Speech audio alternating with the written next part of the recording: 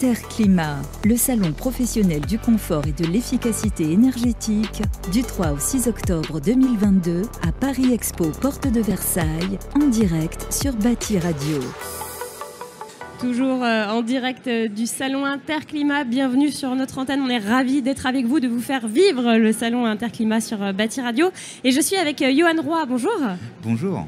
Directeur commercial de la division pour LG Électronique, Air Solutions, si on veut être un peu plus précis. Exactement. Alors le groupe LG qu'on connaît très très très très bien.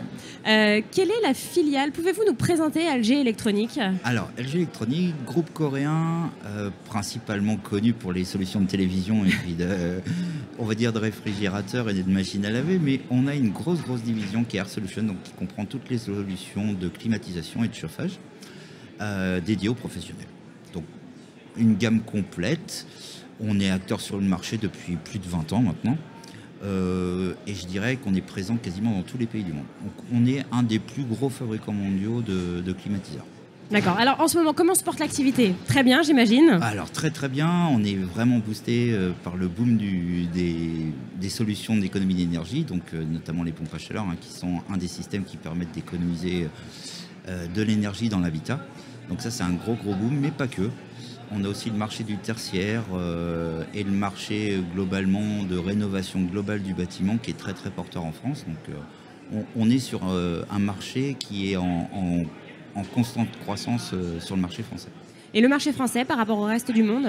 Alors en pompe à chaleur, on est devenu le plus gros pays consommateur de pompe à chaleur RO. puisqu'on a été un des premiers pays à mettre en place des subventions pour aider bah, tous les particuliers à rénover leur système de chauffage. Donc ça ne date pas d'aujourd'hui, il y a déjà eu des premières campagnes il y a, plus de 10 ans maintenant pour euh, rénover le bâtiment en France. Mais on continue, euh, maintenant on a les contraintes de remplacer toutes les chaudières fuel hmm. et puis aussi de remplacer les chaudières gaz euh, à terme. Donc ça booste effectivement ce marché de la pompe à chaleur RO qui est un des systèmes principaux pour remplacer ces, solutions qui utilisent des énergies fossiles. Hum, donc les, Français sont friands euh, de ces pompes à chaleur. Et très aidés par, euh, par, le gouvernement. le gouvernement, effectivement. Comment vous expliquez euh, ça, que le gouvernement français soit le gouvernement qui a le plus impulsé, qui a le plus éduqué les Français pour, pour faire le, switch en fait? Alors, Je pense qu'on a eu depuis très très longtemps une politique énergétique propre en France. avec des, des, aides qui ont permis depuis très longtemps de, d'essayer d'avoir une, certaine indépendance énergétique. Après, on a fait le choix de toujours suivre et même d'être, d'aller au-delà des recommandations sur les économies d'énergie en Europe ou dans les différentes COP qu'il y a pu y avoir. Le gouvernement français a toujours fixé des objectifs au-delà de, ce qui était demandé au niveau mondial. Donc pour ça, il a mis des aides en place pour euh, permettre à tout le monde de pouvoir euh, bah, participer à ces économies d'énergie. Hmm. Là, depuis, euh, depuis quelques mois, hein, euh, à cause de, de, ce qui se passe en, Ukraine, euh, il y a une crise énergétique qui est due à la crise du gaz hein, et puis avec aussi la difficulté temporaire de remettre en marche les centrales nucléaires. comment, comment réagissent les, Français et donc les professionnels que, vous, avec lesquels vous travaillez, que vous fournissez comment, Qu'est-ce que vous sentez? Quelles sont vos observations sur le terrain? Comment, Quel état d'esprit ressort de, cette période? Alors il y a un réel engouement, c'est clair, des professionnels. Euh, il y a un effet d'aubaine évidemment aussi au niveau du travail. je pense que tous les professionnels sont en recherche de main d'œuvre, puisqu'il y a une telle demande qu'on a beaucoup de mal à, il y a une pénurie de main-d'œuvre. Une hein. pénurie de main-d'œuvre au niveau des artisans et même nous au niveau des fabricants. On a du mal à suivre, donc on est tous en train d'investir dans des nouveaux centres de production.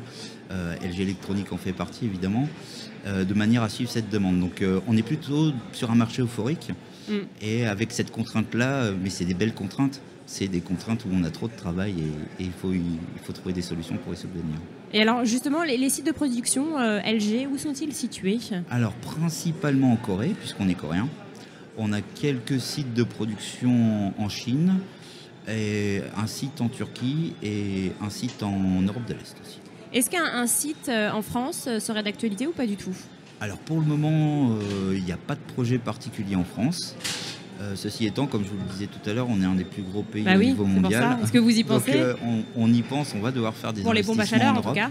Et puis même dans le bilan carbone complet des produits, etc., le, le lieu de production va avoir une grosse Bien importance. sûr. hein. Parce que là, ça fait quand même un peu loin, Corée, Chine. euh, bon, Exactement, donc il faut aussi prendre en tant que fabricant mondial, il faut qu'on prenne ces contraintes-là en jeu aujourd'hui. Ouais. Et puis livrer tous nos produits par bateau, Oui. comme ça on le fait aujourd'hui, qui- avec un bilan carbone qui est consomment un peu moins. Voilà, exactement. Du coup, vous, c'est- c'est c'est dans, le- dans les discussions, là, c'est dans les tuyaux. Hein. Complètement, le groupe LG, euh, on est présent dans plus de 150 pays dans le monde, on Ouais. a des usines un peu partout, et très peu en Europe. On doit avoir quatre usines en tout en Europe pour différents types de produits. Donc là, il y a évidemment des investissements qui, euh, à, à court, moyen terme, vont, vont avoir lieu. Hmm.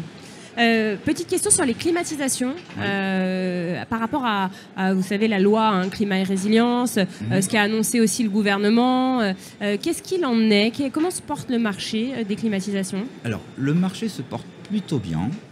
Ah, il faut voir le, le marché de la climatisation comme une solution de pompe à chaleur. C'est une pompe à chaleur RR.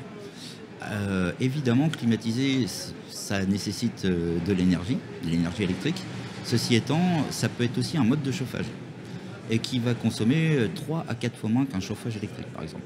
Donc on peut l'envisager comme une très bonne solution euh, d'économie d'énergie pour des gens qui seraient chauffés avec des radiateurs électriques.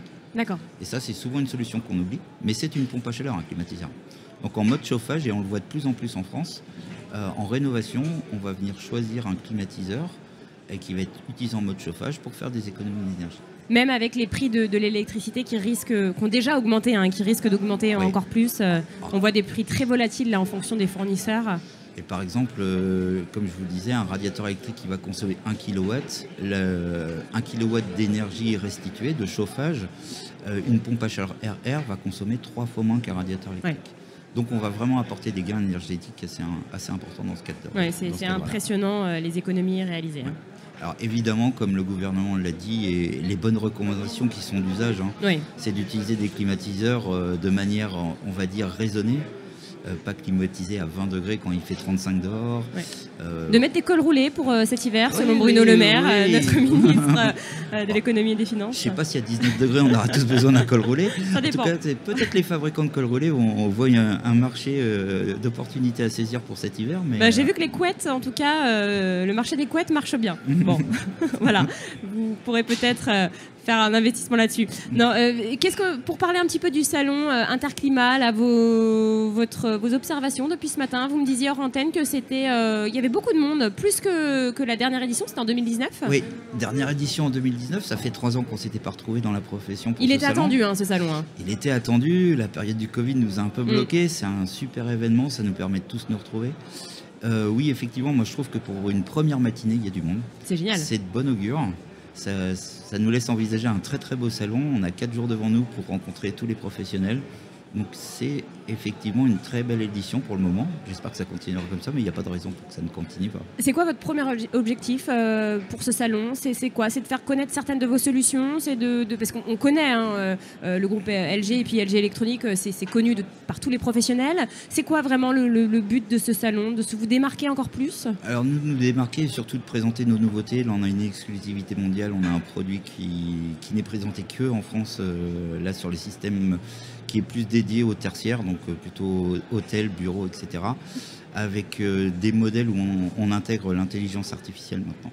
Et on en parle beaucoup hein, parce qu'il y, a y le fameux décret tertiaire. Oui. Euh, et c'est vrai que l'intelligence artificielle euh, sert à, à mieux, euh, à mieux, à savoir, à, à éduquer du coup notre consommation d'énergie, à nous éduquer, et donc on consomme moins quand on connaît mieux. Exactement. Et en fait, on, on arrive maintenant dans des machines en tertiaire à aussi mettre des capteurs qui nous permettent d'étudier tout l'environnement du produit, euh, extérieur et intérieur. Et donc on sort, on sort ce nouveau produit-là, euh, il sera commercialisé euh, début 2023, enfin mars 2023, et on le présente en exclusivité avec toutes ses fonctionnalités ici. Sur Il s'appelle comment ce nouveau produit? Le Multivi Eye. Eye comme intelligent, Ça fait rêver. ça fait rêver. Bon, euh, on note en tout cas euh, mars 2023. Merci infiniment, euh, Johan euh, Roy, pour euh, avoir répondu à nos questions. Merci de votre accueil. Interclimat, le salon professionnel du confort et de l'efficacité énergétique, du 3 au 6 octobre 2022 à Paris Expo, porte de Versailles, en direct sur Bâti Radio.